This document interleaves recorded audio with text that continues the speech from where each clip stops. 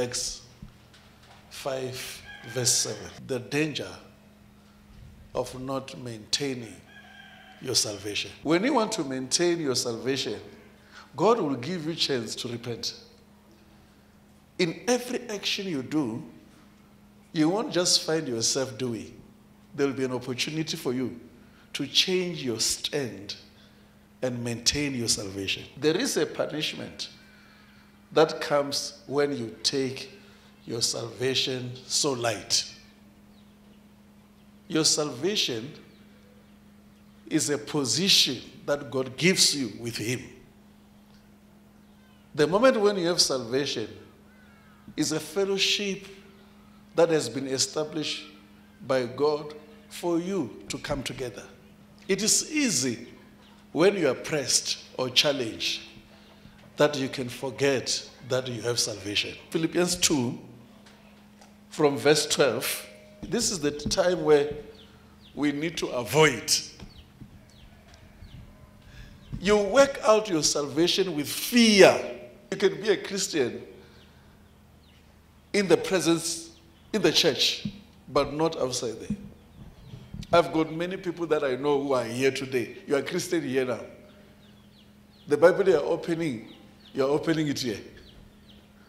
But you don't open it at all. Much more in my absence. Much more. In fact, whatever you are doing here, do it more when you are home. We had two hours something, pray, intercession. Do it more when there's no church. It's then you will maintain your salvation. The reasons why many people are falling is because they seek God for something. The moment when you start to seek God for bread and you don't know why God is not giving you that bread, you're a failure. Because sometimes even your leg works for the best out of you. If we reach a level where we don't maintain our salvation, we will always search for solutions because of our challenges. You need to focus on your salvation. Maintain it. If you maintain it, you'll be a light. Don't allow the contaminated world to contaminate you. If God won't allow your challenge to be your challenge, you won't be what God wants you to be.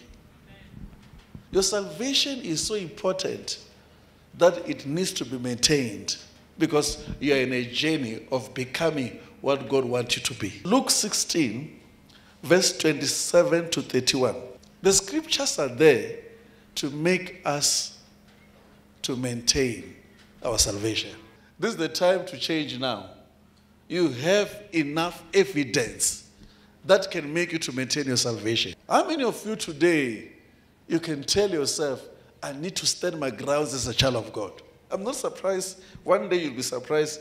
People who are preachers and Christians who are coming to church in hell. It's possible. Because if now we have the Bibles and still failing to maintain our salvation, what are we doing?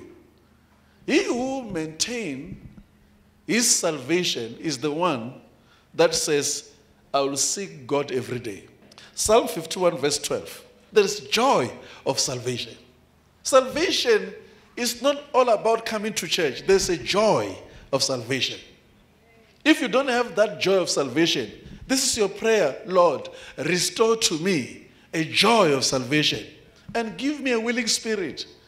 What is the willing spirit? It's a spirit that even when it's tough to do, you do because of the joy that is in you. Ask God for willingness. Ask God to sustain you because whatever that's coming to you, devil want to stop you from not seeking God. The book of Genesis 19.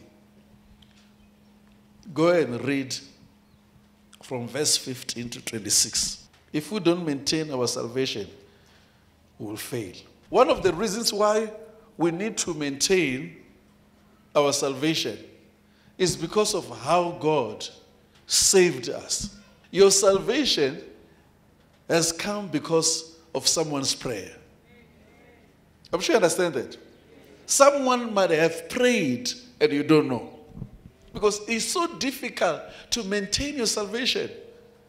It also needs someone to do what? To pray.